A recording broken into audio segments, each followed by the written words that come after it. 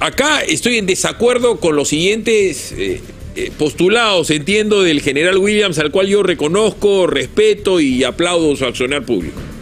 Yo no estoy de acuerdo con ningún corredor humanitario, porque eso implica que entren para que alguien, no sé quién, los tenga en un sitio no sé dónde, seguramente en Tacna, y que les pague un busing Lima Tumbes para que bajen y estén en algún sitio, no sé dónde, este, con responsabilidad de no sé quién en Tumbes, mientras que en Ecuador los reciben. Entonces que nosotros vamos a repetir esta sandez de Chile, no es así. Simplemente que no entren. Que no entren. No es nuestro problema lo que pasa en Chile con sus migrantes. Ese es el punto. Y eso es no ser, eso no es que eres inhumano. No, están en Chile, es problema de Chile con esos venezolanos. Y Chile, su cancillería, con la cacería venezolana, con anuencia, con la colaboración o sin ella de la ONU, se los tiene que llevar de Chile a La Guaira, al aeropuerto o el no sé qué otros aeropuertos más hay en Venezuela. Puente aéreo.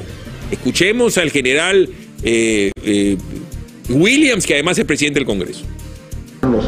Yo creo que lo que se tiene que hacer allí es este, actuar de manera ordenada, con un plan específico, eh, no maltratar a los, a los este, migrantes. Ellos ya tienen un problema en el sur, este, Chile tiene sus razones para pedirles que se retiren, nosotros tenemos las nuestras para no aceptar indocumentados y posibles personas que estén fuera de la ley.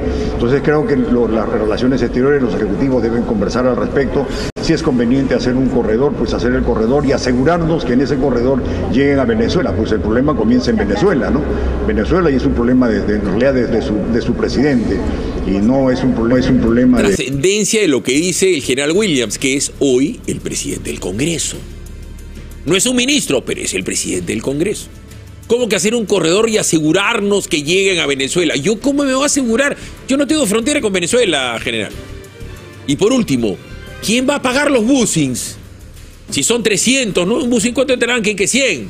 120, que esos tres buses que lo vas a cerrar aire acondicionado y que para bajar al baño bajarán, no sé, pues este, bajan en Arequipa, después hay un control en Nazca, otro control en Lima y, llegan a, Chiclayo y de Chiclayo que va a ser una travesía pues de dos días, ¿no es cierto? En diversos controles para que bajen a hacer sus necesidades y no se te escapen. Eso es un show.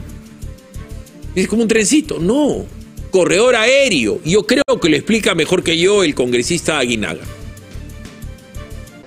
Fíjate, tú lo has señalado y nosotros lo hemos dicho hace varios días, lo hemos tuiteado, que esta crisis se soluciona haciendo un puente aéreo. Si realmente quieren solucionar esta crisis a lo que nos ha llevado el gobierno de Chile, porque ¿por qué utilizar la frontera con el Perú cuando tiene otras fronteras? ¿No es así? ¿Por qué ir a un país eh, que justamente se ha desligado y, y como consecuencia de la votación del Congreso que vacó a Castillo, que nos estaba llevando a una dictadura chavista.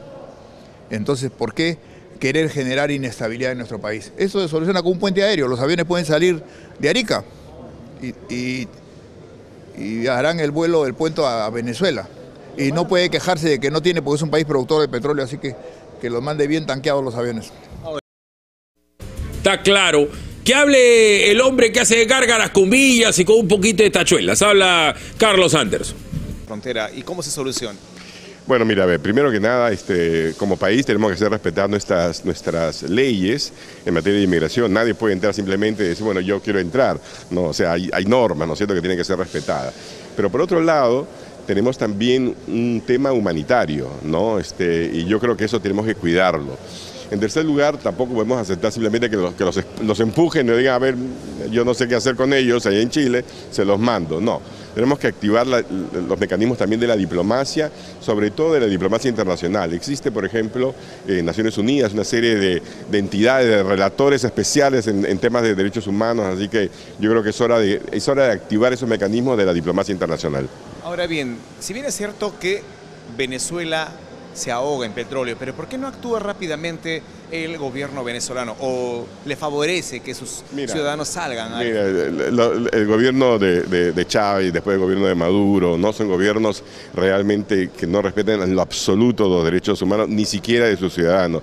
Como práctica han tenido pues el expulsar, el expulsar, digamos, a ciudadanos este, en una mezcla de todos, ciudadanos capaces, ¿no? que, que, que salen pues realmente expulsados por las condiciones económicas que existen allí y también expulsar o facilitar la salida de delincuentes, ¿no?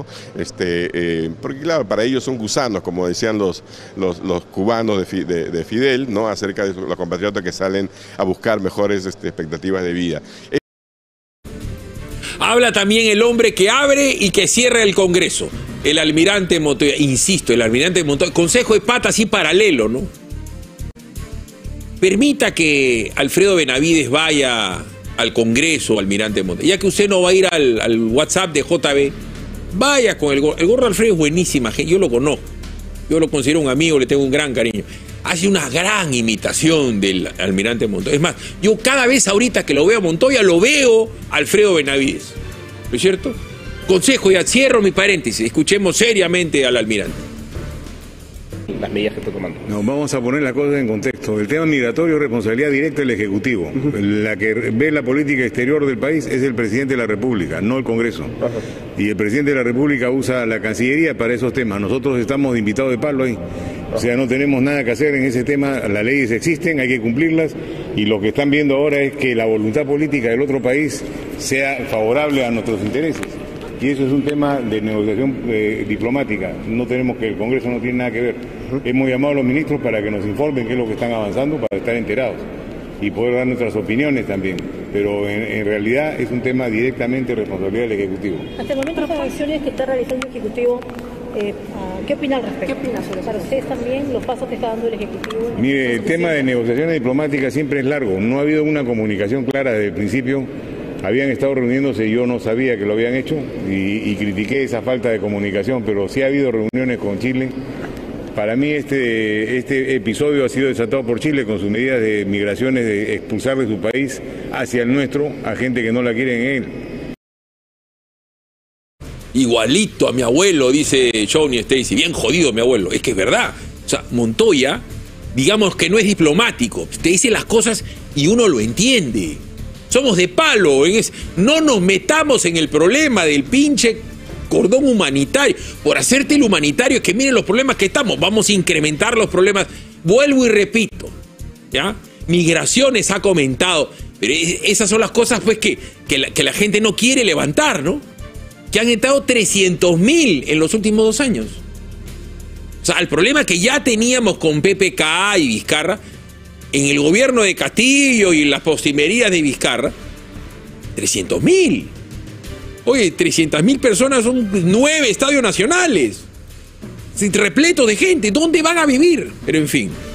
Habla el presidente del Poder Judicial, que también tiene que ser un poco diplomático, había cuenta su condición, ¿es cierto?